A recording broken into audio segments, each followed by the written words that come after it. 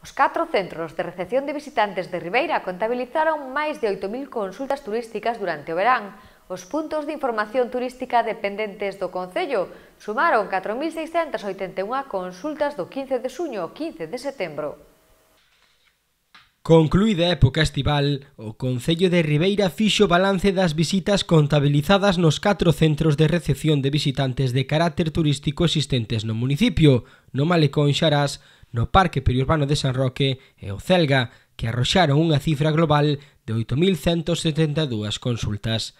Así cabe salientar que a Casa da Costa do Parque Natural de Corrubedo sumou durante os meses de xullo e agosto un total de 3.491 consultas, 1.315 e 2.176 respectivamente.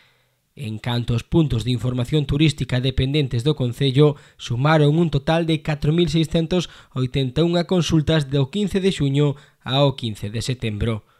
Compre puntualizar que estas son consultas de visitantes atendidas por persoal de distintos centros, que non equivalen ás persoas que de xeito autoguiado e sen estar contabilizadas acudiron a lugares de interese como o citado complexo dunar ou outros enclaves como o Parque Periurbano de San Roque, o Miradoiro de Pedra da Rá ou o Castro da Cidade.